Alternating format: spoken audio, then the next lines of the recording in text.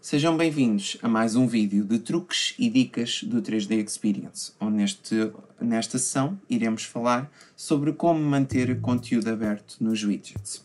Isto significa que dentro da minha plataforma de 3D Experience, a qualquer momento, uh, em qualquer aplicação, eu abro conteúdo, como neste caso na, no widget Product Structure Editor, em que eu quero verificar a árvore do meu helicóptero e verificar uh, como ele está a ser, como está desenhado.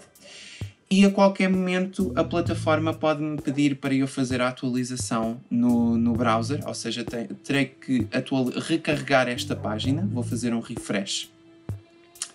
E assim que eu faço um refresh, o conteúdo não é carregado automaticamente. No entanto, no 3D Experience existe uma forma uh, de podermos voltar a carregar este conteúdo sem termos que voltar a selecionar uh, o helicóptero neste exemplo em concreto. Pelo que basta só irem ao menu do widget, ou da aplicação em concreto, clicamos em Preferences. Se forem a reparar, existe aqui uma opção que diz Automatically Reload Recents from Last Session, em que se eu picar nesta opção e fizer um save e voltar a abrir o meu helicóptero,